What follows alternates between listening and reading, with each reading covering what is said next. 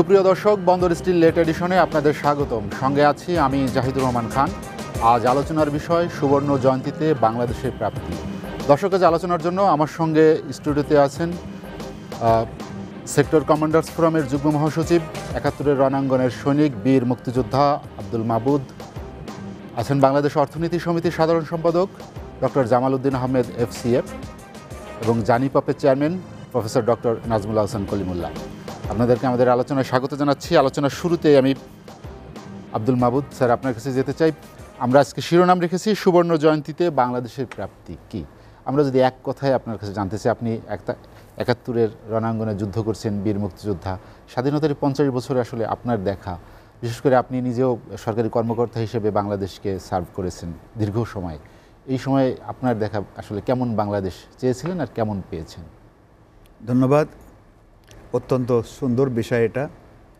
আমি এ বিষয়ে আলোচনার আগে আমি শ্রদ্ধার সাথে স্মরণ করতে চাই মহান নায়ক বাংলার অবিসংবিত নেতা বঙ্গবন্ধু শেখ মুজিবুর রহমান, যার অমূল নির্দেশে এই ভূখণ্ড স্বাধীন হয়েছে। সেই ফাদার অফ দি নেশনকে প্রতি শ্রদ্ধা নিবেদন করে আমি আমার বক্তব্য শুরু করতে চাই। আপনারা জানেন যে বাংলাদেশ একদিনে আসে নাই। দীর্ঘ সংগ্রামের পরে বাংলাদেশের এই চিত্র আপনারা দেখছেন। আমি আজকে এই মাসটি হচ্ছে ছেষট্টি সালের ছয় দফার মাস। ছয় দফার যখন বঙ্গবন্ধু জাতির কাছে উপস্থাপন করলেন, তখন সেই ছয় দফাকে জাতি সুন্দরভাবে গ্রহণ করল এবং সমস্ত দেশে তার সুফল ভবিষ্যতে যে কী সেটা প্রচার হতে লাগল এবং মানুষ সুন্দরভাবে হৃদয়তে গ্রহণ করে ছয় দফার আকর্ষিত হলো। এবং এই সূত্র ধরে কিন্তু ঊনসত্তরের গণ আন্দোলন, সত্তরের নির্বাচন এবং সে সবশেষে একাত্তর সালের মহান স্বাধীনতা যুদ্ধ। স্বাধীনতা যুদ্ধে একটি মাত্র নির্দেশ ছিল যে তোমাদের যা কিছু আছে, বঙ্গবন্ধু নির্দেশ এটা তাই নিয়ে শত্রু মোকাবেলা করো। এবং বাংলার সকল ঘরে ঘরে দুর্গ গড়ে তোলো। এবং বঙ্গবন্ধুর নির্দেশে আমরা যারা সেদিন স্বাধীনতার যুদ্ধে অংশগ্রহণ করেছি, তারা সকলেই ঘরে ঘরে দুর্গ গড়ে তুলেছে এবং যা কিছু ছিল তাই নিয়ে ঝাঁপিয়ে পড়েছে। পরবর্তী থেকে বিভিন্ন দেশ থেকে ট্রেনিং নিয়েছে, বিশেষ করে আমাদের প্রতিবেশী ভারত কাছে শ্রদ্ধার সাথে স্মরণ করতে হয় তাদের। তারা আমাদের মুক্তিযোদ্ধাদের ট্রেনিং দিয়ে আমাদেরকে সমৃদ্ধ করেছে। এবং যুদ্ধ কীভাবে করতে হয় শিখিয়েছে এবং নয় মাস রক্তক্ষয়ী যুদ্ধ হয়েছে এবং যৌথ বাহিনী গঠন করে ষোলোই ডিসেম্বর এই দেশটাকে একটা শত্রুমুক্ত হয়েছে। তারপরে যখন দেখা গেল এই দেশটা আমরা পেলাম কিন্তু যুদ্ধ বিধ্বস্ত একটি যুদ্ধ বিধ্বস্ত দেশ। দেশ দেশে কোনো রাস্তা নেই। দেশের পোর্ট মাইনে ভরপুর। ব্যাংকের টাকা নেই বাংলাদেশ ব্যাংকের শূন্য। সমস্ত এলাকা বিধ্বস্ত, সমস্ত এলাকায় ওয়ার ফিল্ড প্রত্যেক জায়গায় মাইন পোতা। এই দেশটাকে পরিষ্কার পরিচ্ছন্ন করা হলো। সম্ভব হয়েছে। তার মতন একজন মহান নেতাকে আমরা পেয়েছিলাম বলে। সমস্ত জাতি তার কথা ঝাঁপিয়ে পড়েছিলেন এবং জাতি তার কথা অনুসরণ করে দেশটাকে স্বাধীনতা, প্রাপ্তি স্বাধীনতা ধরে রাখার চেষ্টা করেছিল। কিন্তু আমাদের অত্যন্ত পরিতাপ। সিরাজদৌলাকে যেমন তার অত্যন্ত কাছের মানুষ মির্জাফর উত্থানে তার পতন হয়েছিল, ঠিক বঙ্গবন্ধুর কাছের মানুষ, বাংলার মন্ত্রিসভার একজন সদস্য খন্দকার মুস্তাক এবং তার দোসর জিয়াউর রহমান নাম উচ্চারণ করতেই হয় তারা সকলে মিলে বঙ্গবন্ধুকে অকালে পনেরোই আগস্ট সপরিবারে হত্যা করল। শুধু পরিবার না তার সান্নিধ্যে যারা ছিলেন শেখ ফজলুল হক মনি আব্দুর রব সান্নিবাদ তার আত্মীয় স্বজন যে যেখানে ছিটিয়েছিল ঢাকাতে প্রত্যেকে তারা হত্যা করল। সারা দেশে একটা আমি যদি একটু যোগ করি আপনার সঙ্গে যে আমি একটু যোগ করি সেটা হচ্ছে যে বঙ্গবন্ধু আপনি বললেন যে স্বাধীনতা আমাদের যে একটি বিশ্ব মানচিত্রে আমাদেরকে পরিচয় করে দিচ্ছে আত্মপরিচয় করে দিচ্ছে আমাদেরকে তিনি একটি সংবিধানও দিয়ে গেছিলেন বঙ্গবন্ধু চলে গেছেন এ কথায় আমি আসছি এ কথায় আসছি। কথা অবশ্যই আসতে হবে। স্বাধীনতা যখন আমরা কথা উচ্চারণ করব দেশের কথা যখন উচ্চারণ করব তখন অবশ্যই এর জন্য, এই চালানোর জন্য একটা যে সংবিধান, সে সংবিধানও কিন্তু অতি অল্প সময়ের মধ্যে সেই সংসদের সংবিধান আমাদেরকে উপহার দিয়েছে। ওই সংবিধান বাস্তবে রূপ দেওয়ার জন্য যখন বঙ্গবন্ধু চেষ্টা করেছে, যখন বঙ্গবন্ধু আগিয়ে গেছে, তখনই কিন্তু ঘাতকরা তাকে আর রাখে না এই দুনিয়াতে, দুনিয়ার থেকে তাকে শহীদ করে দিয়েছে। ওই পরিতাপের বিষয়টা আমরা শ্রদ্ধার সাথে স্মরণ করি না, আমরা গভীর দুঃখের সাথে স্মরণ করি। এবং দীর্ঘদিন আমরা এটা বহন করে নিয়েছি। জননেত্রী শেখ হাসিনার ক্যাবিনেট যখন আসলেন, বাংলার মানুষ যখন তাকে আবার বাংলার মসনাদে বসালেন, বাংলার শাসনভার যখন তাকে দিলেন, তখন এই কলঙ্ক থেকে মুক্তি হওয়ার জন্য আমরা সকলে চেষ্টা করেছে এবং ইন্ডিপেন্ডেন্ট আইনটা বাতিল করে এই কিলারদের আপনারা জানেন সকলেই। তাদেরকে বিচার করে বিচার আওতায় আনা হয়েছে এবং তাদের প্রাপ্য শাস্তিও তারা পেয়ে গেছে। আরেকটা যে মনে রাখতে হয় স্বাধীনতা কিন্তু শুধু একটা সংবিধানের জন্যই বসে থাকে না মানুষের মৌলিক চাহিদা যেটা মৌলিক চাহিদাটা কি? খাদ্য বস্ত্র বাসস্থান শিক্ষা এই যে মৌলিক চাহিদা কিন্তু উনি পূরণ করার চেষ্টা করলেন। স্যার আমরা এবং আমরা আবার শুনব আচ্ছা, আপনার কাছে. ডক্টর জামালউদ্দিন আহমেদ যেটি মাহবুদ স্যার বলছিলেন যে ছয় দফা থেকেই শুরু করেছেন। আপনি জানেন যে ছয় দফার একটি দফায় অর্থনৈতিক বৈষম্য নিরসন করার জন্য দুই দুই অংশের পাকিস্তানের দুই অংশের বঙ্গবন্ধুর যে দাবি ছিল সেই বৈষম্য নিরসনের পথে আমরা দীর্ঘ সময় লড়াই সংগ্রাম করে যে স্বাধীন বাংলাদেশ পেয়েছি তারপরে পঞ্চাশ বছর কেটে গেছে। এই পঞ্চাশ বছরে আসলে সেই জায়গার কতটা উন্নতি হয়েছে? আপনি দেখুন বাংলাদেশ বঙ্গবন্ধু শেখ মুজিব হাজার বছরের শ্রেষ্ঠ বাঙালি। কেন বলা হয়? এটা হয়তো আমরা এখন মানে এক্সপ্লেনেশন ওইভাবে দেই না। এটা হলো উনি কেন হাজার বছরের শ্রেষ্ঠ বাঙালি? আপনি দেখেন হিস্ট্রি যদি ঘাটেন, ব্রিটিশরা আঠারোশো সাতা, সতেরোশো সাতান্ন সালে এখানে আপনার সিরাজউদ্দৌলাকে পরাজিত করি আপনার বাংলা দখল করছে। এবং এই যে, আর বিগিনিং এই বিগিনিং থেকে আসেন এরপরে ব্রিটিশ রাজ আঠারোশো সাতান্ন সালে সিপাহী বিদ্রোহের পর তখন কিন্তু ব্রিটিশ গভর্নমেন্ট এটাকে আপনার টেক ওভার করে। এর আগে ছিল কোম্পানি ইস্ট ইন্ডিয়া কোম্পানি এটা এই বাংলা এই দেশের শাসক করতো তারপরে আসে উনিশশো সাতচল্লিশ সালে পাকিস্তানের সাথে, পাকিস্তান এবং বাংলাদেশ ইন্ডিয়া ভাগ হলো। এবং বঙ্গবন্ধু শেখ মুজিব তখন, উনি কেন হাজার বছর শ্রেষ্ঠ বাঙালি? শেখ মুজিব, বঙ্গবন্ধু শেখ মুজিব তখন স্টুডেন্ট ছিল। উনার জীবনে পড়লে এটা বোঝা যায়।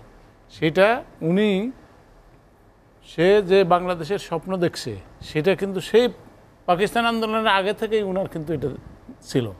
এবং সেটা এখন আমরা বুঝতেছি যে হিস্ট্রি পড়ি।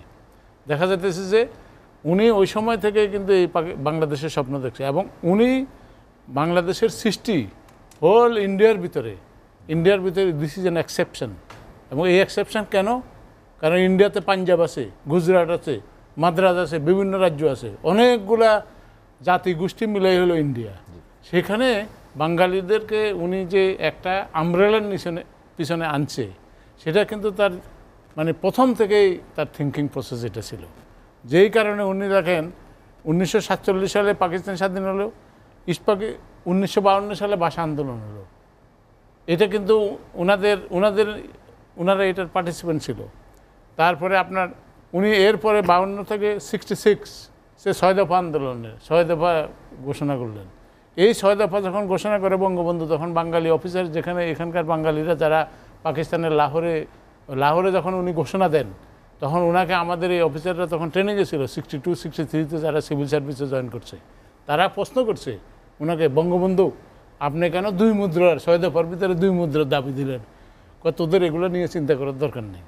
ওর মধ্যে একজন লোক পরবর্তীতে বাংলাদেশ স্বাধীন হওয়ার পরে he became DC of Chittagong Bangabandhu স্বাধীনতার পরবর্তী সময়ে এস এস আহমদ সাহেব, উনি কিন্তু ওখানে ডিসি হলেন চিটাগংয়ের ডিসি উনাকে যায় বঙ্গবন্ধু প্রথম যায়া ওনার ডিসির অফিসে ঢুকেই বলল, কিরে, দুই মুদ্রা কি জন্য দিছি এবার বুঝছস? উনি নিজে একটা আর্টিকেল লিখছে, ওটা থেকে আমি জানছি এটা। মানে দিস মিনস ওনার যে স্বপ্ন ওটা কিন্তু অন্য সবাই করতে পারে না এই যে প্রফেসর রফিকুল ইসলাম এখন আপনার বাংলা একাডেমির উনি যে জাতীয় অধ্যাপক উনাকে উনা উনি এক সময় উনি উনসত্তর সালে যখন বঙ্গবন্ধু উপাধি পায় উনি আগরতলা ষড়যন্ত্র মামলা থেকে যখন বাড়ি আসে বাড়ি আসার পরে কিন্তু তখন ওনার বিরোধী অনেক লোক ছিল ঢাকা বিশ্ববিদ্যালয়ের শিক্ষকরা তারা পাকিস্তানিদের পক্ষে ছিল। এদের মধ্যে অনেক লোকে কিন্তু ওনার দেখতে পারতো না। তখন এরাই একটা প্রোগ্রাম করল যে ওনাকে সম্বর্ধনা দেবে। তখন ওই রফিকুল ইসলাম স্যার, উনি তখন বললেন যে উনি এটা সহ্য করতে পারতেছেন না। উনি বললেন যে, বঙ্গবন্ধু কেন তাদের কাছ থেকে ইয়ে নেবে? বঙ্গবন্ধু বলে যে ওনারে ওনার বাসায়, এই যে আজকের আমাদের প্রধানমন্ত্রী শেখ হাসিনা, উনি বাংলা ডিপার্টমেন্টের স্টুডেন্ট ছিলেন।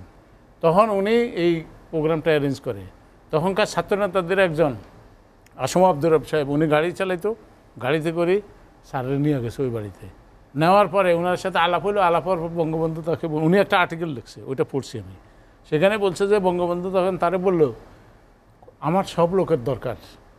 এখন তোরা খালি, তোরা যারা আসো তোদের পক্ষ থেকে উনার বক্তব্য বলে যে, আপনি কেন ওদের ইয়েতে যাবেন? তখন ওনারা বুঝাই বলল বলে যে, আমি তো জাতীয় নেতা। আমি, এদের সবার আমার দরকার। সুতরাং তোমরা এখন তোমাদের কাজ করো, আমি ওখানে যাব। যাইয়া তাদের সাথে। তার মানে কি উনি সমগ্র জাতিকে যে একটা আমব্রেলার নিচে নিয়ে আসছে। এটা কয় বছরের ব্যবধান? সিক্সটি সিক্স থেকে সিক্সটি নাইন সিক্সটি নাইন তারপরে সেভেন্টির ইলেকশন এটা কিন্তু টাইম বেশি না। জি। এই টাইমের ভিতরে কিন্তু হি অর্গানাইজড এবং উনি এটাকে বাঙালি জাতি যে সৃষ্টি হয়েছে ভারত উপমহাদেশের মধ্যে এটা একটা বিরাট একটা আবিষ্কার। এবং এটা কিন্তু বাংলাদেশ টিকে থাকবে। আরও সাকসেস এখন যে স্টোরি আছে এখনকার যে টেলিভিশন রেডিও বিভিন্ন দেশের লোকজন যে বলতেছে এই স্টোরি আরও শুনতে থাকবেন। বাঙালিরা সবাই অবহেলা করে দেখছে। এখন কিন্তু সেই দিন নাই। ডক্টর জামালউদ্দিন আহমেদ আপনার কাছে আবার আসব আমি। প্রফেসর ডক্টর নাজবুল হাসান কলিমুল্লাহ যেটি জামালউদ্দিন বললেন যে বাংলাদেশ টিকে থাকবে। বাংলাদেশে অনেক সাফল্যের কথা আছে কথা আছে যেগুলো। কিন্তু আসলে কি আর্থসামাজিক প্রেক্ষাপটে আমরা যে আকাঙ্ক্ষা নিয়ে মুক্তিযুদ্ধে বঙ্গবন্ধু বাংলা স্বাধীনতার ডাক দিয়েছিলেন মুক্তিযুদ্ধ হয়েছিল স্বাধীনতা পেয়েছি সেই আর্থসামাজিক প্রেক্ষাপটে কতটা বদল হয়েছে? দেখুন বাংলার সবচেয়ে পুরনো বেজ লাইন হিসেবে যদি আমরা ধরি, বৌদ্ধ গান ও দোহা বা চর্যাপদ, সেখানে পংক্তি আছে এইরকম টালতমোর ঘর নাহি পরবেশী, হারিত ভাত নাহি নীতি আবেশী। টিলার উপর আমার ঘর, আমার প্রতিবেশী নেই, নিত্যদিন আমার হারিতে ভাত চড়ে না। এরকম একটি অবস্থায় দিনানিপাত করি। এই যে অবস্থাটা, সেটা থেকে গুণগত পরিবর্তন কিন্তু এখন হয়েছে। আমরা স্বাধীন সার্বভৌম এই বাংলাদেশে জীবনযাত্রার যে মান, তা এই উপমহাদেশে অন্য দেশগুলোর তুলনায় আমরা আগানো। এবং সেই সঙ্গে এই যে জনঘনত্ব সম্পন্ন একটা দেশ, এটা কিন্তু এক অর্থে একমাত্র ন্যাশন স্টেট এই সাউথ এশিয়া আমাদের হোমোজিনিটি অসাধারণ।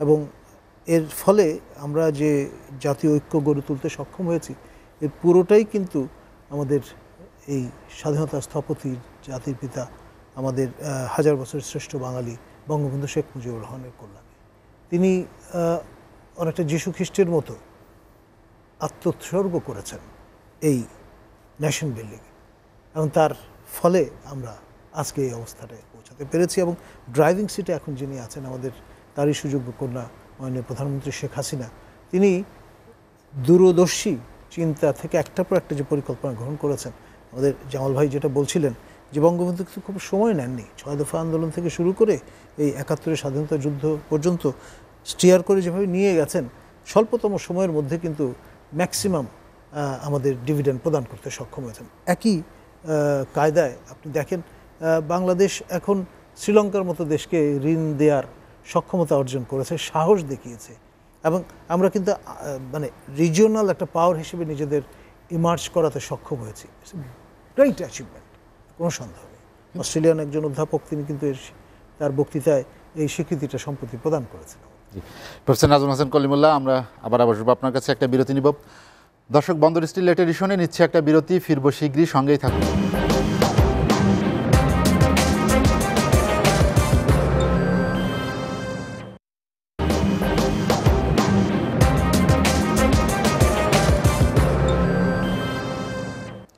দেখছেন এসএ টিভির রাতের আয়োজন, বন্দর স্টিল লেট এডিশন বিরতির পর আমরা আবারও ফিরছি আলোচনায়। আর আমাদের সঙ্গে আছেন সেক্টর কমান্ডার্সের সেক্টর কমান্ডার্স ফোরামের যুগ্ম মহাসচিব এবং এসএ টিভির প্রধান নির্বাহী কর্মকর্তা বীর মুক্তিযোদ্ধা আব্দুল মাবুদ, বাংলাদেশ অর্থনীতি সমিতির সাধারণ সম্পাদক ডক্টর জামালউদ্দিন আহমেদ এফসিয়া এবং জানিপপের চেয়ারম্যান ডক্টর নাজবুল হাসান কলিমুল্লাহ।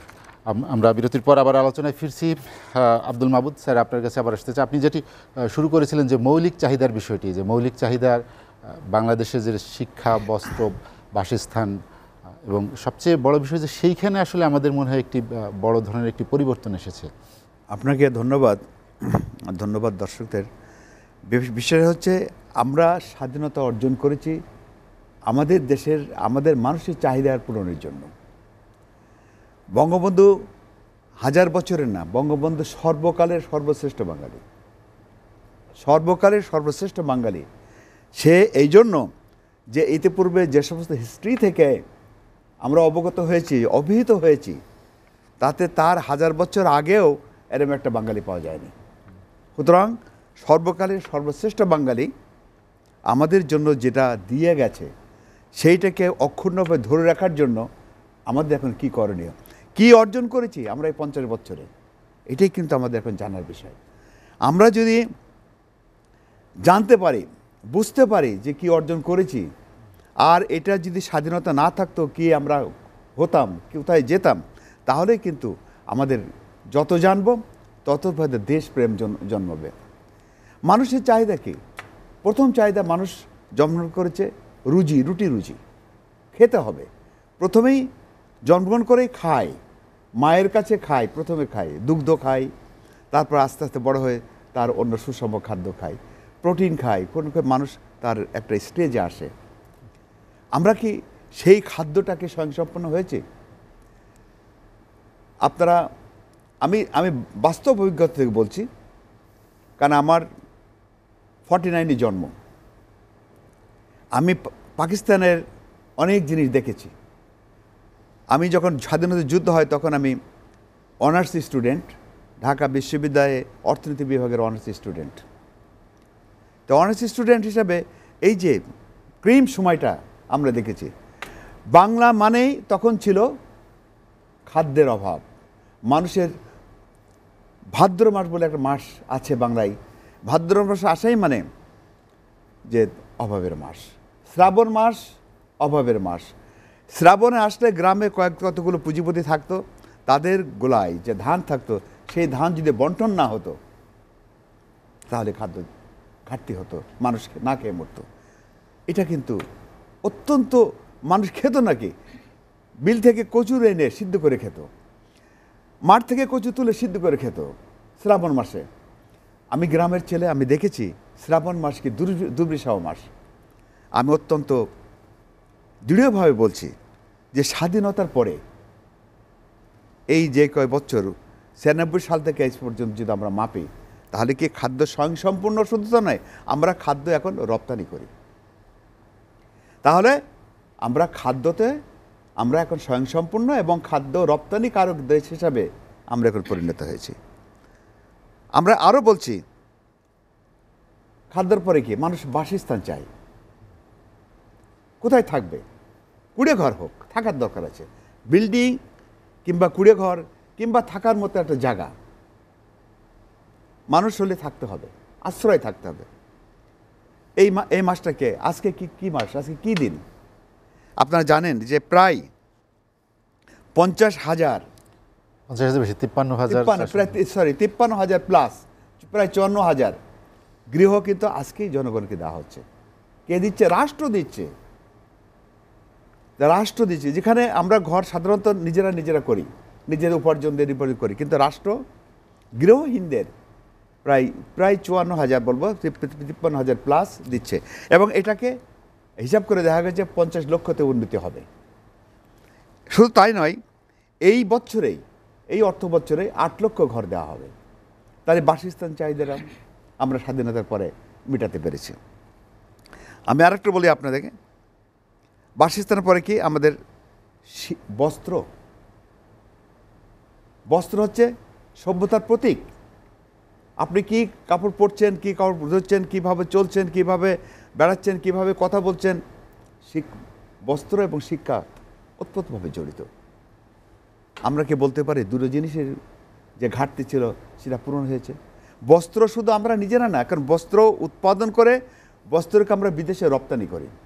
বস্ত্র শিল্প এবং আমাদের বৈদেশিক আমাদের বৈদেশিক মুদ্রা অর্জনের একটি বিরাট খাত। তাহলে বস্ত্রতে আমরা স্বয়ংসম্পন্ন হয়েছে। এটা সম্ভব হয়েছে।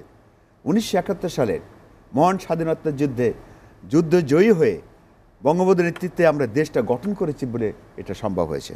আরেকটু বলি, এর জন্য শিক্ষা দরকার হয়। এখন কি প্রায় তো প্রতি জেলাতে বিশ্ববিদ্যালয় হয়ে যাচ্ছে। এবং ঢাকা আমাদের সময় কী ছিল? ঢাকা, রাজশাহী চিরগং আর সাভার বিশ্ববিদ্যালয়। জাহাঙ্গীরনগর তখন শুরু জাহাঙ্গীরনগর প্রায় শুরু হচ্ছে। তাহলে আপনি দেখেন এখন কি প্রতি মানুষ গ্রাম থেকে সকালবেলা নাস্তা করে প্রতিটি ছাত্র এখন তার আসতে পারছে। তাদের মতন ওই হলে দৌড়তে হচ্ছে না। এখন বাইসাইকেল করে আসতে পারে। তা সুতরাং শিক্ষার যে ঘাটতি মৌলিক যেটা চাহিদা সেটা কিন্তু পূরণ হতে যাচ্ছে। আর শুধু তাই নয় আমাদের ধর্মীয় নির্দেশটা কি? প্রত্যেকের শিক্ষা গ্রহণ করা ফরজ। জি। শিক্ষা আপনাকে গ্রহণ করতেই হবে। যদি আপনি মানুষ হন আপনাকে প্রথম কাজ হচ্ছে শিক্ষা। একরা বিসমি রব্বিকাল্লা যে খালাক। পবিত্র কোরআনে যে এই আয়াত প্রেনবী মোহাম্মদ রসুল্লাহামের যে নাজিল হলো তার প্রথম কথা হচ্ছে পড়ো পড়ো। কার? প্রভুর নামে পড়ো। একরা বিসমি রব্বিকাল্লা যে খালাকাল। খালাকাল ইনসান মিন আলাক। তাহলে আপনি দেখেন শিক্ষা এই শিক্ষা যে শিক্ষা আমাদের ধর্মীয় নির্দেশ যে শিক্ষা মানুষের অত্যন্ত প্রাণের চাহিদা যে শিক্ষা না হলে মানুষ আপনি মানুষে পরিচিত হবে না। আকল আপনাকে যে বিবেক দিয়েছে প্রত্যেকটা মানুষ তো কুল্লু ইনসানুন হায়ানুন প্রত্যেকটা মানুষ একটা জীব। সেই জীবের সৌন্দর্য প্রকাশটা হচ্ছে শিক্ষা বস্ত্র। এটাও কিন্তু এই স্বাধীনতা অর্জনের পর এটা আমরা অর্জিত হয়েছে এবং এটা দৃঢ়ভাবে সম্ভব হয়েছে। আমাদের এই যে গভর্নমেন্ট এখন ক্ষমতায় আছে বঙ্গবন্ধুর কন্যা জননেত্রী শেখ হাসিনার তার টানা ক্ষমতায় থাকার ক্ষমতার জন্যই। কিন্তু এটা সম্ভব হয়েছে। গ্রামে স্কুল ঘর পাওয়া যায় না গ্রামে খড়ে ঘর স্কুল আর পাওয়া যায় না। এখন যে তালিকা দিতে হয় যে কোন স্কুল করবে দেখা যাচ্ছে প্রত্যেকটা গ্রামের প্রাইমারি স্কুলগুলো দোতলা প্রায়। প্রায় সব সব প্রায় স্কুল তাহলে এই যে একটা অর্জন এই অর্জনটা কীভাবে হলো? অর্জনটা হলো এই স্বাধীনতা সপক্ষে স্বাধীনতা শক্তি। শক্তি ক্ষমতা আছে বলে। স্যার আপনার কাছে আবার আসব আমি?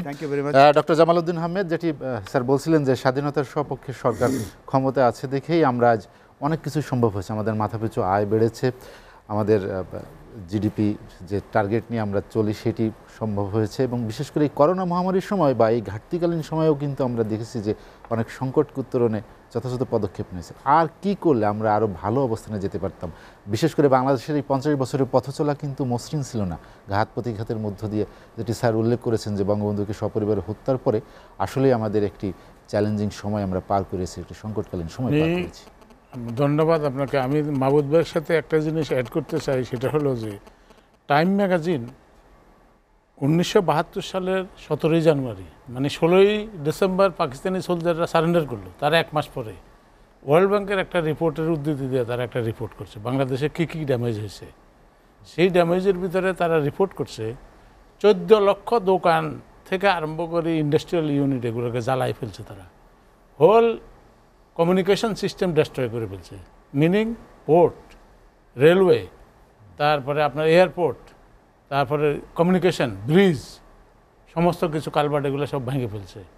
এবং আপনার ফাইনালি তারা আরেকটা রিপোর্ট দিয়েছে যে এগুলো তো নষ্ট হয়েছে। তারপরে আরেকটা জিনিস দিয়েছে যে এবং তিরিশ লক্ষ লোক মারলো, দুই লক্ষ মা বোনের ইজ্জত নষ্ট করছে। এটা ওইখানকার রিপোর্টেই আছে ওয়ার্ল্ড ব্যাংকের রিপোর্ট সেটা কিন্তু আমাদের দেশে বিভিন্ন রকমের বিভ্রান্তি করে। আসলে কিন্তু এটা রেকর্ডেড জিনিস। সেটা ওই টাইম ম্যাগাজিনের রিপোর্টে আছে। এবং ওখানে তারপরে তারা বলছে যে চিটাগাং পোর্টে তারা বুঝতে পারছে যে তারা চলে যেতে হবে। অগাস্ট মাস থেকে তারা বুঝে পড়ছে যে থাকতে পারবে না। তখন তারা ফাইন্যান্সিয়াল রিসোর্সগুলো ট্রান্সফার করা শুরু করে লিকুইড ফাইন্যান্সিয়াল সেটা হলো ব্যাংকের থেকে যত টাকা আছে রিজার্ভের টাকা থেকে আরম্ভ করে সব কিছু একটা উদাহরণ দিয়েছে চট্টগ্রাম বন্দরে। মানে ওখানে পাকিস্তানি এয়ারলাইন্সের একটা অ্যাকাউন্ট ছিল, বন্দরে, ব্যাংকের অ্যাকাউন্টে সেখানে তারা ইকুইভ্যালেন্ট টু দশ ডলার এই টাকা রাখছে আর সব টাকা নিয়ে গেছে। মানে পুরা দেশের টাকা তো নিয়েছেই ট্রান্সফার করে ফরেন কারেন্সিগুলো তো ওইখানে চলে যেত। লোকাল কারেন্সিও টাকাগুলোও কিন্তু আপনার নিয়ে গেছে। মিনিং বাংলাদেশকে একটা খালি একটা ধ্বংসস্তূপে রেখে গেছে। সেখান থেকে আজকে দেখেন ব্লুমবার্গের মতন ইয়ে নিউজ নিউজ মিডিয়া তারা বলতেছে যে বাংলাদেশ ইজ একজন এক্সাম্পল এশিয়ার মধ্যে। তারপর আরও অনেকগুলা ইন্টারন্যাশনাল পত্রিকা যেমন ওয়াল স্ট্রিট জার্নাল এরা কিন্তু নাম করা ওয়ার্ল্ডের মধ্যে নাম করা এবং তারাই বলতেছে যে তারা তাদের বাংলাদেশের উপরে মানে লেখা লিখতেছে এবং বাংলাদেশ একটা একটা বিস্ময়কর তাদের কাছে মনে হয় যে হেনরি কিসিঙ্গার বলেছিল যে বাংলাদেশের যে বাস্কেট কেটস সেই দেশে সেই হেনরি কিসিঙ্গারও এখন জীবিত আছেন উনি উনি এখন বিশ্বাস করেন না। ওনারা এখন লোকজনের জিজ্ঞাসা করলে, বাঙালি এক লোকে জিজ্ঞাসা করছে, ওনার ইন্টারভিউ নিছে। উনি তখন বললে যে, আমাকে ভুল ইনফরমেশন দেওয়া হয়েছে ওখান থেকে। এটা আমি ভুল বলছি এটা। মানে সে হি টল যে, এটা বাস্কেট কেস এই এত অবস্থার ভিতরেও পার হয়ে আসে কিন্তু এই যে, আপনার সমস্ত ইনফ্রাস্ট্রাকচারগুলো ঠিক করা, ঠিক করে আবার বাংলাদেশ যে রিভাইভ করছে এবং হার্ভার্ড ইউনিভার্সিটিতে এক লোক এটা স্টাডি করছে। তারা বলছে যে, বাংলাদেশ স্বাধীনতার পরে যে অবস্থায় ছিল মানে negative GD population growth was higher than GDP growth meaning নেগেটিভে আছি আমি। সেই ক্ষেত্রে সেই বাংলাদেশে এখন আমি এই দুই সালে একটা হার্ভার্ড ইউনিভার্সিটিতে একটা স্পিচ দিই আমি বলি যে তোরা এখন খুঁজে বাইর কর বাংলাদেশ কেমনে। এখন খুঁজে বাইর কর বাংলাদেশ কেমনে, ওইটাকে ওভারটার্ন করি এখন ঘুরে গেছে। এবং ওনার যেই লোক দেশকে স্বাধীন করেছে ওনার মেয়ে হাত দিয়েই এটা হয়েছে। এটা কিন্তু একটা কাকতালীয়ভাবে হয়ে গেছে। মানে ওনার মেয়ের হাত দিয়ে নেতৃত্ব ওনাকে আপনার এই যে বড় বড় যে প্রজেক্টগুলো একনাকে উঠে, যে সমস্ত লোক প্রেজেন্টেশন দেয়, তাদেরকে উনি উল্টে ধরে। যেমন এক- একটা গ্রুপ রেলের হাই স্পিড রেলের জন্য কক্সবাজার, চিটাগাং পর্যন্ত একটা হাই স্পিড রেলের প্রপোজাল দিচ্ছে মাননীয় প্রধানমন্ত্রী কি বলছে জানেন? উনি বলছে হোয়াই নট কক্সবাজার অ্যান্ড টেকনা পর্যন্ত তোরা এটা আনস নেই? তার মানে কি? আমরা যেটা চিন্তা করি ওনার থেকে উনি হেড চিন্তা করে। দিস মিনস উনি জাতির উন্নতির জন্য চেষ্টা করতেছেন এবং এটা ওনার রক্তের ধারার ভিতরে আছে এবং সেই ধারাটাই কিন্তু কন্টিনিউ করতেছে। এবং এটা একটা বিরাট সৌভাগ্য আমাদের জন্য। ডক্টর জামালউদ্দিন আহমেদ আপনার কাছে আবার আসব আমি। প্রফেসর ডক্টর নাজমুল হাসান কলিমুল্লাহ যেটি জামালউদ্দিন বলছিলেন যে আসলে মাননীয় প্রধানমন্ত্রী শক্ত হাতে তিনি দেশ পরিচালনা করছেন এবং তার দক্ষ নেতৃত্বে আমরা আসলে সামনের দিকে এগিয়ে চলেছি। আমি যেটি আপনার কাছে সুনির্দিষ্ট করে জানতে চাই যে, দারিদ্র বিমোচনের ক্ষেত্রে বা অর্থাৎ দেশের সাধারণ মানুষের জীবনমান উন্নয়ন আসলে আস- কি ধরনের পরিবর্তন এসেছে এই পঞ্চাশ বছরে?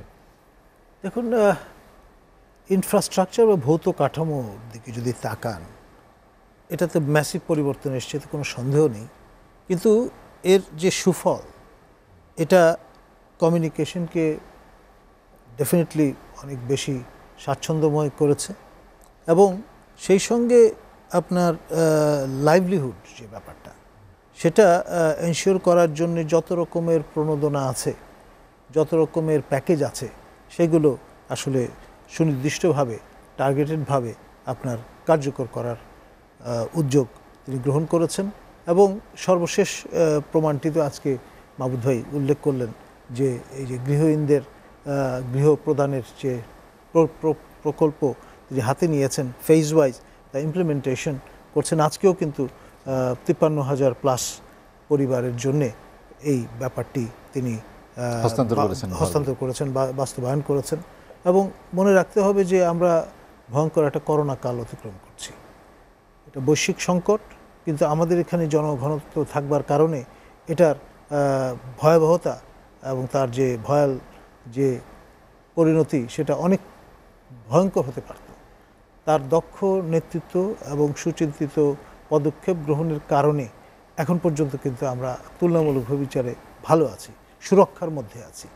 আর আরেকটা বিষয় সেটা হচ্ছে এই যে আপনার লাইভলিহুড বনাম সুরক্ষা, এর একটা what to draw the line সেই সেই জায়গাটাই কিন্তু অসাধারণ বিচক্ষণতার তিনি পরিচয় দিয়েছেন। লকডাউন চলছে, স্বাস্থ্যবিধি বিষয়টা আমরা মাথায় রেখেছি। কিন্তু সেই সঙ্গে আপনার লাইভলিহুড যাতে সবাই এনশিওর করতে পারেন সেটার জন্যও কিন্তু মোটামুটি জন চলাচল থেকে শুরু করে আপনার গম্যতার যে ব্যাপারটা সেটা কিন্তু নিশ্চিত করা হয়েছে। অর্থাৎ আপনার বিষয়টা এমন না যে বজ্রাটনি ফসকা গেরো। সুচিন্তিতভাবেই সব পরিকল্পনা মাফিক কার্যকর করার প্রক্রিয়া করা হচ্ছে এবং এই যে দূরদর্শিতা এটা অবশ্যই আমাদের জাতির পিতার কাছ থেকে তিনি জেনেটিক্যালি উত্তরাধিকার সূত্রে পেয়েছেন। শি ইজ গিফটেড এতে কোনো সন্দেহ নেই। হ্যাঁ ডক্টর নাজমুল হাসান কলিমুল্লাহ আমরা আর একটা বিরতি নিব। দর্শক বন্দর স্টিল লেটেডিশনে নিচ্ছে আর একটা বিরতি। ফিরব শীঘ্রই সঙ্গেই থাকুন।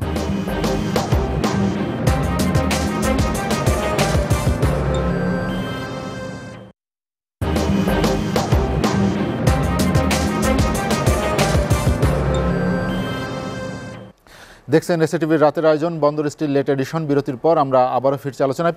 আব্দুল মাহবুদ স্যার যেটি নিয়ে আমরা আলোচনা করছিলাম যে সুবর্ণ জয়ন্তীতে বাংলাদেশের প্রাপ্তি আমি যদি একটু সুনির্দিষ্ট করে আপনার কাছে জানতে চাই যে আপনি বীর মুক্তিযুদ্ধের পঞ্চাশ বছরে আসলে আমি আমলটাকে বেশি গুরুত্বপূর্ণ কিন্তু আপনাদের সময় এত স্বল্প যে এই পঞ্চাশ বছরের অগ্রগতি এক ঘন্টায় তো সম্ভব না বলা। এটা তো ঘণ্টার পর ঘণ্টা লাগে। যারা ইতিহাস জানে।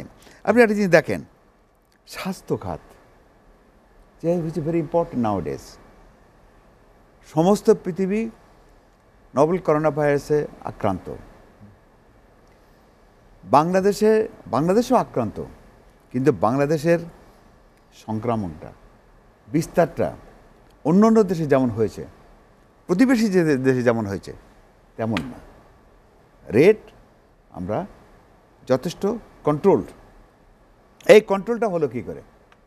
This is a real a good policy taken by জননেত্রী শেখ হাসিনা। সুতরাং স্বাস্থ্য খাতেও আমরা কিন্তু পিছিয়ে নেই। আর যে জিনিসটা প্রশ্ন করলেন যে আমরা ইতিহাস আলোচনা করতে গেলে তার দূরে যেতে হয়। আমরা একটু সুনির্দিষ্ট করে জানতে চাই তুলনামূলক পঞ্চাশ বছরে কোন আমলকে এগিয়ে রাখবেন যে বাংলাদেশের প্রাপ্তি দেখেন বাংলাদেশ মাত্র সাড়ে তিন বছর বঙ্গবন্ধু আমাদের বাংলাদেশের হাল ধরেছিলেন, সাড়ে তিন বছর। কিন্তু যে আদর্শ নীতি, রীতি দিয়ে গেছিলেন, সেইগুলো কিন্তু এখন চলছে, সেগুলো চলছে। মাঝখানে এটা বিচ্ছেদ ঘটলো। একটা পরিবর্তন, কি পরিবর্তন? আপনি যদি বলি, এটা বিপ্লবী পরিবর্তন না, এটা পড়তে ক্রিমিনাল পরিবর্তন হয়েছিল একটা। একটা কিছু ব্যক্তি তাদের চরিত- চরিত্রের বহিঃপ্রকাশ ঘটেছিল এই পরিবর্তনে। কি? লুটপে পুটপে খাবে দাবে আরাম করবে যেটা চলে যাবে। কার স্বার্থের জন্য? আমাদের নিজে বাঙালির স্বার্থের জন্য করেছিল এটা? বাঙালির স্বার্থ করলে বাঙালির যে পরিবর্তন এখন দেখা যাচ্ছে সেগুলো কেন বাস্তবায়িত হয়নি? আমি ওই প্রেয়ারটা আলোচনা করি। পঁচাত্তর সাল থেকে একটা যুগপন্থ আসলো, তারপরে আর একটা যুগ আসলো। সামরিক সরকারের যুগ আসলো। এই যুগে কি হয়েছে? শুধু যে, যা হয়েছে সেগুলো আমরা এখন খুঁজে পাই না। কিছু খাল কেটেছে, খালের অস্তিত্ব নেই। মাটি সরিয়েছে, আবার মাটি ডুবাইছে। পুকুর কেটেছে, আবার যখন পরিদর্শন করে দিয়ে গেছে, তখন বলে, পুকুর কই? বলে, পুকুর ছিল, এটা আবার বুঝিয়ে দেওয়া হয়েছে। তো এইভাবে ডেভেলপমেন্টটা হয়েছে। আমি সুদীজনের জন্য স্পষ্টভাবে বলতে চাই যে ছিয়ানব্বই সালে যখন এই স্বাধীনতার পক্ষের শক্তি ক্ষমতায় আসলেন, জননেত্রী শেখ হাসিনা, বঙ্গবন্ধুর উত্তরাধিকারী যখন ক্ষমতায় আসলো, তখন আমরা দেখলাম যে পরিবর্তনটা কী। আমরা দেখছি যে পরিবর্তনে যারা বাধা, যে চিন্তাধারা, যে প্ল্যানিং এইটাকে আগে আগে উপড়াতে হবে। একে আগে উপড়াতে হলে কি? ওই কিলারদেরকে আগে প্রথমে বিচার করতে হবে। বিচারের বাধা। একটা মানুষের বিচার প্রাপ্তিতে বাধা। হত্যার বিচার হবে না। একটা আইন দিয়ে বলল এটা এই আইনটা, এই হত্যার বিচার করা যাবে না। এ- এটা কোনো আইন হলো। এটা this is a black law এই লকে আগে সংশোধন করা হলো। সংশোধন করে আইনটাকে পাশ করে আবার তাদেরকে বিচারে আওতায় আনা হলো। এবং ডেভেলপমেন্টের একটা ঢেউ লাগল। এবং সেই বছরে দেখেন খাদ্য স্বয়ংসম্পন্ন হলো। যখন আমরা অত্যন্ত দুর্ভিক্ষের মধ্যে থাকতাম সেই বছরে সেই সময়কালে পাঁচ বছরের খাদ্য সংসম্পন্ন হয়ে একটা খাদ্য আমরা রপ্তানি আরম্ভ করলাম। এটা আবার যখন আবার পরিবর্তন হলো সাত পার্সেন্ট নব্বই 2001 হ্যাঁ দুই হাজার একে। দু হাজার একে যখন পরিবর্তন হলো তখন দেখলাম যে ফাইন্যান্স মিনিস্টার বলছে যে আমাদের এগুলো তো দেখানো যাবে না। কারণ তাহলে আমরা বিদেশ থেকে ভিক্ষা পাবো না। আমরা কোন চিন্তা ধারণায় ধারায় আমরা থাকি? যে আমরা কি ভিক্ষা করার জন্য জন্মগ্রহণ করেছি? আমরা তো ভিক্ষা দেওয়ার জন্য জন্মগ্রহণ করেছি। আমরা বাঙালি জাতি। আমরা বাঙালি জাতি এবং সেই সাথে আমাদের ধর্ম হচ্ছে ইসলাম। ম্যাক্সিমাম মানুষের ধর্ম হচ্ছে ইসলাম। ইসলাম তো মানুষেরকে দেওয়ার শিখাইছে। বাঙালি তো মানুষের দেওয়ার শিখাইছে। তো সুতরাং আমরা কি ভিক্ষা থেকে আমরা উত্তরণ হব? তা না করে বলা হচ্ছে, না, এটা করা যাবে না, তাহলে আমরা ভিক্ষা পাবো না। সুদীজন আরেকটা কথা বলি। মাঝখানে কিন্তু আবার একটা যে ধারাবাহিকতার জন্য ডেভেলপমেন্টের ধারাবাহিকতার জন্য বাংলার মানুষের যে সিদ্ধান্ত আল্লাহ রহমতের সিদ্ধান্ত চলমান আছে চালু আছে এবং ভবিষ্যতে আশা করি আমরা এই সিদ্ধান্ত ধরে ডেভেলপমেন্টকে ধরে রাখার জন্য উন্নতিকে ধরে রাখার জন্য মানুষের যে স্বাধীনতার অর্জনের যে আকাঙ্ক্ষা যে কারণে আমরা স্বাধীনতা স্বাধীনতা প্রাপ্ত হয়েছি সেইটাকে আমাদের অপটিমাম লেভেলে নিয়ে যাওয়ার জন্য এই সরকারের ধারাবাহিকতা আমাদের দরকার আছে। এবং বিশ্বের ছেদ ঘটলে কিন্তু আমাদের জন্য সুখকর বই নিয়ে আসবেন। আমাদের সাথে সময় কম। আমরা আরও আপনি যদি সময় দেন আরও বলতে পারি। শেষ করতে হবে স্যার হাতে সময় কম। আপনাকে অসংখ্য ধন্যবাদ। ডক্টর জামাল উদ্দিন আহমেদ যেটি স্যার আলোচনা করছিলেন যে আমাদের এই ধারাকে এগিয়ে নিতে হবে। এটি ছেদ ঘটলে একটু আমাদের জন্য আরও কি অপেক্ষা করবে সেটি বলা যায়। আমি একটি বিষয় আপনার কাছে সুনির্দিষ্ট করে জানতে চাই, উল্লেখ করতে চাই, যেটি এসডিজি অর্জনের ক্ষেত্রে জাতিসংঘের যে ক্যাটেরিয়া তার তিনটি বাংলাদেশ অর্জন করেছে। আসলে আমাদের এই বৈশ্বিক চ্যালেঞ্জ মোকাবেলার ক্ষেত্রে এই একবিংশ শতাব্দীতে করোনাকালীন সময় আর কি ধরনের নীতি প্রয়োজন বা কি ধরনের সংস্কারমূলক পদক্ষেপ নেওয়া যায়? মানে দেখুন মাহবুদ ভাই যেটা বললেন যে, ধরেন পঞ্চাশ বছরের হিসাব একটা হিস্ট্রি উনি দিয়ে দিলেন। এই হিস্ট্রির ভিতরে আপনার মানে প্রো পিপল গভর্নমেন্ট এখানে কয় বছর ছিল? সেটা যদি হিসাব করেন, এটা কিন্তু কম। মানে উনিশশো বাহাত্তর সাল থেকে এই পর্যন্ত, পঞ্চাশ বছর তো, এই পঞ্চাশ বছরের ভিতরে আওয়ামী লীগ যে অ্যাচিভমেন্টগুলা আছে, এই অ্যাচিভমেন্টগুলা মোস্টলি আওয়ামী লীগের পিরিয়ডে সেটা হলো উনিশশো বাহাত্তর সাল থেকে পঁচাত্তর সাল পর্যন্ত বঙ্গবন্ধুর একটা পিরিয়ড তারপরে আওয়ামী লীগ আসছে উনিশশো ছিয়ানব্বই সালে। এই ফাঁক দিয়া কিন্তু বিশ বছর শেষ। এই ফাঁক দিয়ে বিশ বছর শেষ মধ্যখান দিয়ে আবার আরও কয়েক বছর যোগ হয়েছে। তার মানে প্রায় পঞ্চাশ বছরের মধ্যে তিরিশ বছরই ছিল আপনার তিরিশ বছরের বেশি ছিল আপনার অ্যান্টাই পিপল গভর্নমেন্ট এবং সেই ক্ষেত্রে আপনার উল্টা দিকে চলছে জাতি। স্বাধীনতার যে মূল্যবোধ এটা উল্টা দিকে চলছে। সেটাকে ঘুরে আনার জন্য পরবর্তীতে আওয়ামী লীগ ছিয়ানব্বই সালে আসার পরে একুশ বছর পরে আসছে। একুশ বছর পরে তখন। তখন বলা হইতেছে একুশ বছর পরে। একুশ বছরে আসা পর আসার পরে এটাকে মোটা ঘুরে আনতেছে। ঘুরে আনতে এটা সময় লাগবে। এবং সেই সময়টা কারণেই কিন্তু এখন যে সমস্ত প্রবলেমগুলো আপনারা দেখতেছেন বিভিন্ন ক্রিটিসিজম আছে ইয়ে আছে এগুলা কিন্তু হলো ওই জিনিসটাকে ঘুরে আপনি ঠিক করে আনতে একটা জাহাজ যখন একটা বি- বিপত্তি চলে তখন আবার এটার পথে আনতে টাইম লাগে। সেই টাইমটা বাংলাদেশে স্পেন্ড হয়ে গেছে। সেই পরে আপনার দেখেন হোল ইকোনমিক মেশিনটা চালু করার চালু করে আপনার একটা লাইনে ট্র্যাকে ফেলানোর জন্য আপনার ইনফ্রাস্ট্রাকচার দরকার। এবং এই ইনফ্রাস্ট্রাকচারটা কোথা থেকে আসে? জিডিপি গ্রোথ কোথা থেকে হয়? পুরা জিনিস যদি দেখেন হোল ইকোনমিক মেশিনরে চালায়া, এখান থেকে প্রত্যেকটা transaction every transaction billions and billions of per day transaction হয়। সেই ট্রানজাকশানের মধ্যে দিয়ে কিন্তু at the end of the day এটা জিডিপিতে কন্ট্রিবিউট করে। এটা প্রত্যেকটা একজনের ইনকাম আরেকজনের খরচ। এটা এই গভর্নমেন্ট এটা চালু করছে। চালু করার পর এখন ধরেন আপনি যদি বলেন যে পদ্মা সেতুর বেনিফিট এখন আমরা এখনও পাইনি, এখন তো পাবেন না। এটা আরও পঞ্চাশ বছর, একশো বছর ধরে পাবেন। তারপরে এই যে মেট্রো রেল করছে, এটার বেনিফিট কখন পাবেন? আপনি এটা কমপ্লিট হয়ে যাওয়ার পরে তখন যখন ফার্স্টার মানুষ ইউজ করবে, এখন তো আমাদের ছেলেপেলেরা, আমাদের নাতি টাতি যারা আছে, ম- মাউদ নাতি আছে কিনা জানি না। কিন্তু এরা এরা মনে করবে যে বাংলাদেশ আগেও এরকম ছিল। আসলে তা না। এটাকে টার্ন অ্যারাউন্ড করার জন্য যে টাইম এবং মেধা এবং সেইটা পরিশ্রম এবং ইচ্ছা, সর্বপ্রথম হলো ইচ্ছা।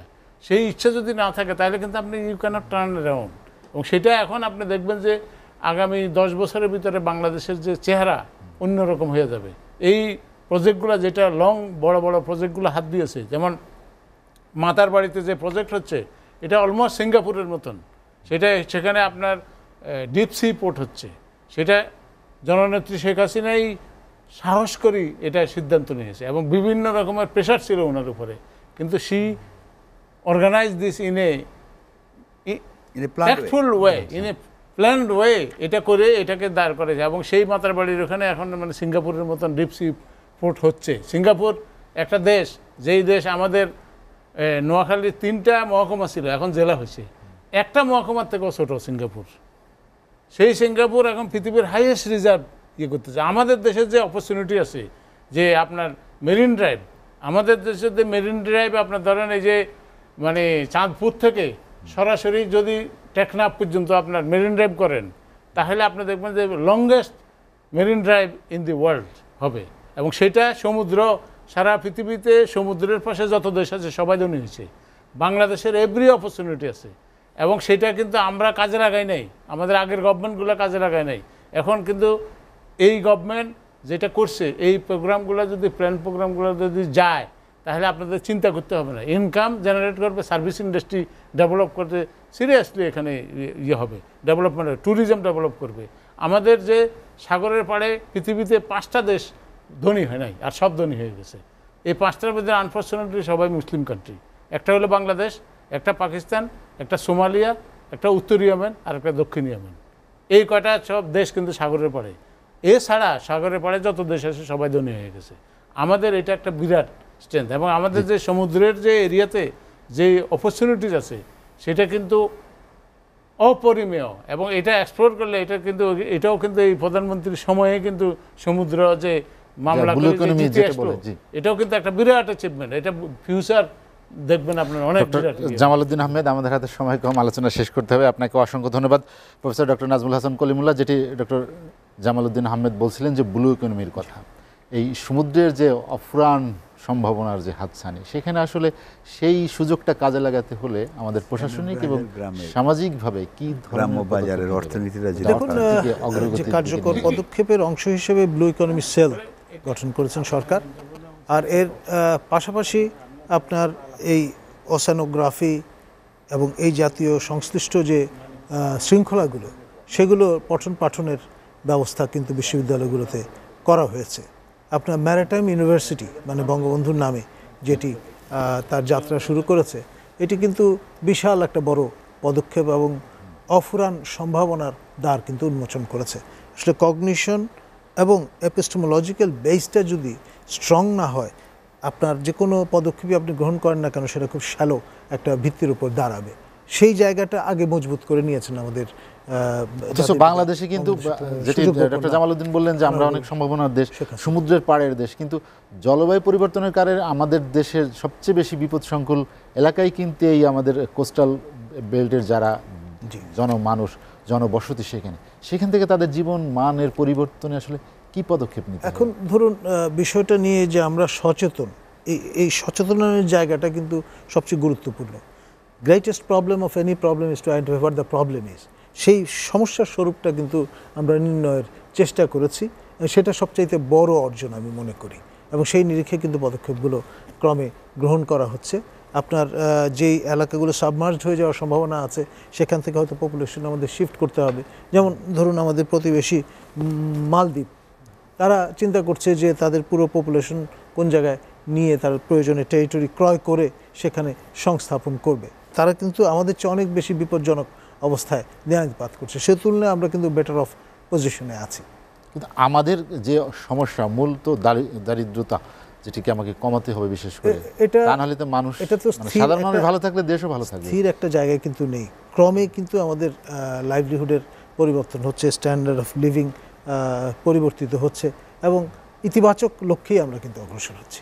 আমাদের আরেকটি বিষয় আপনাদের সর্বশেষ জানতে চাই যে অর্থনৈতিকভাবে বাংলাদেশকে এগিয়ে নেওয়ার জন্য সরকার যেসব পরিকল্পনা নিয়েছে আপনি জানেন যে প্রায় একশোটির মতো যে ইপিজেড করার যে পদক্ষেপ। সেখানে আসলে পর্যাপ্ত বিনিয়োগ করা এবং মানুষের কর্মসংস্থান সৃষ্টির ক্ষেত্রে যে পরিকল্পনা, সেটি বাংলাদেশের কতটা এগিয়ে নেবে? এটা ধরুন আপনার যে সুযোগ, কর্মসংস্থানের সুযোগ তৈরি করে দেবে, তা কিন্তু আমাদের এই যে ডেমোগ্রাফিক যে ডিভিডেন্টটা আছে, যেটা নিয়ে আমরা গর্ববোধ করি, তা কিন্তু কার্যকরভাবে এটা রিপ করার একটা সুযোগ তৈরি হয়ে যাচ্ছে। সম্ভাবনার দ্বার উন্মোচিত হচ্ছে এবং ম্যাসিভ একটা উল্লম্ফন আমরা আশা করতে পারি। এর মধ্য দিয়ে। এইটার ক্ষেত্রে যে আর, আরেকটি বিষয়, সেটি আমি একদম সর্বশেষ বিষয় যে আমরা আলোচনা শেষ করব এটি নিয়ে, যে বাংলাদেশের যে পঞ্চাশ বছরের অগ্রযাত্রা এবং এইটিকে সামনে টেকসই করতে হলে আমরা দেখি যে সবসময় সব সরকার আসেন বা যারা আসেন, তারা সাময়িক কিছু সিদ্ধান্ত দেন। কিন্তু আমাদের যদি টেকসই একটি উন্নয়নের ধারায় নিতে হয়, সেইখানে সংস্কারমূলক যে পদক্ষেপ নেওয়া হয়েছে, সেটা কতটা বাস্তবসম্মত? অবশ্যই সবচেয়ে বড় যে পদক্ষেপ আমি মনে করি সে ডেল্টা প্ল্যান। এটা পৃথিবীর আরেকটি দেশ কোনো চীন ছাড়া আর কোনো দেশ কিন্তু কনসেপ্ট করেনি চিন্তা করেনি। আমাদের মাননীয় প্রধানমন্ত্রী এই জায়গাটার উপর জোরটা দিয়ে ভীষণ রকমের একটা মানে ভিশনারি রোল প্লে করেছেন। এই জন্য অবশ্যই তাকে সাধুবাদ দিতে হবে। অর্থনীতি সমৃদ্ধির জন্য একটা জিনিস কিন্তু আমাদের নোট করতে হবে। সেই যেটা হচ্ছে ছিয়ানব্বই হাজার গ্রাম। ছিয়ানব্বই হাজার গ্রামে প্রায় ছিয়ানব্বই হাজার বাজার আছে কিংবা নব্বই হাজার বাজার আছে। প্রতিটি বাজারে যদি বিশ জন করে ইনকাম ট্যাক্স ফাইল থাকে প্রতিটি বাজারে। আয় বাড়বে আমাদের তাহলে আয়টা কোথায় চলে যাবে? আমাদের কিন্তু এখন টার্গেট থাকতে হবে আমরা যে মেগা প্রজেক্টের আমরা বাস্তবায়ন তো ঘটাতে পারব এবং তখন দেখা যাবে আমরা যে মানে অর্থনীতিতে অন্য দেশকে হেল্প করার জন্য যে চেষ্টা চিন্তা ভাবনা আমাদের রয়েছে আরম্ভ হয়েছে দেখবেন যে এই আমরা যদি ট্যাক্স ফাইল খুলতে পারি ছিয়ানব্বই হাজার বাজারে নব্বই হাজার মার্কেটে তাহলে আমাদের ইনকামটা অনেক অনেক বেশি বেড়ে বেড়ে যাবে জাতীয় ইনকামটা এই জিনিসটা কিন্তু আমাদেরকে এখন আমাদের হাতে সময় কম যে আলোচনা শেষ করতে হবে আব্দুল মাহবুদ ডক্টর জামালউদ্দিন হামিদ এবং প্রফেসর ডক্টর নাজমুল হাসান কলিমুল্লাহ আপনাদেরকে অসংখ্য ধন্যবাদ। আমার সঙ্গে আলোচনা যোগ দেওয়ার জন্য দর্শক জানিয়ে রাখি, বন্দর স্টিল লেট এডিশন পুনঃপ্রচার হয় সকাল আটটায়। আজ এ পর্যন্তই। ভালো থাকুন, সুস্থ থাকুন। এসএটিভির সঙ্গেই থাকুন।